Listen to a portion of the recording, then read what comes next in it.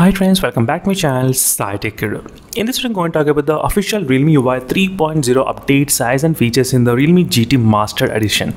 As you can see this is a Realme GT Master Edition which I'm trying to use in this video for the demonstration.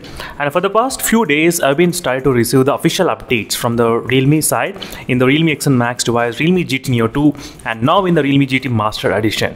So finally, I thought of making a video on this Realme GT Master Edition because for the past few days, I've been uh, very much busy in terms of testing the Realme GT Neo 2 and Realme X1 Max device.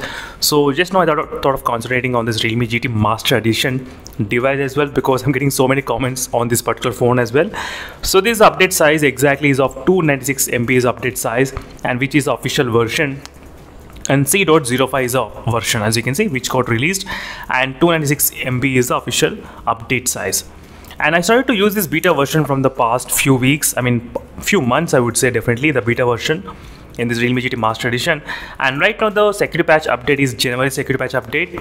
Let's see after today's installation of this official version, what will be the security patch? Can it be upgraded to the March or February?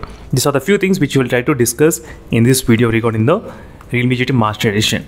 In case you guys do have this device, let me know in the comments of your experience and what are the different different testings you want me to perform on the Realme GT Master Edition. Let me know in the comment section below. Again, I'll be back after some time once the downloading finishes. So right now, as you can see, it's successfully got uh, downloaded and right now it's kind of extracting and it definitely takes some time as well to completely finish this process of this uh, update to the official version.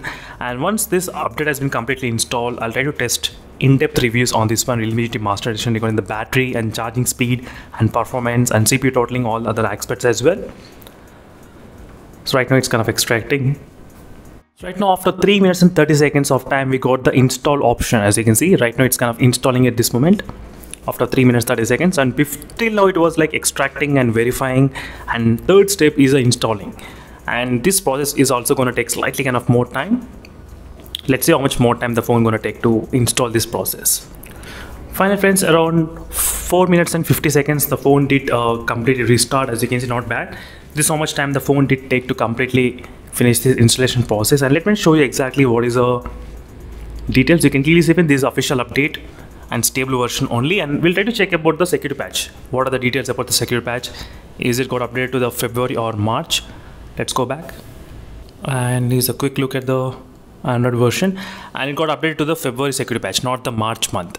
So unlike the other phones uh, they are updated to the March month. For example Realme GT Neo 2 not the February but this phone did not update to the March. It's in still in the February security patch update only. And meanwhile signing off friends thank you for watching. Until instead of more updates and uh, in case if you have any other questions let me know in the comment section below. Meanwhile signing off until stay tuned. Bye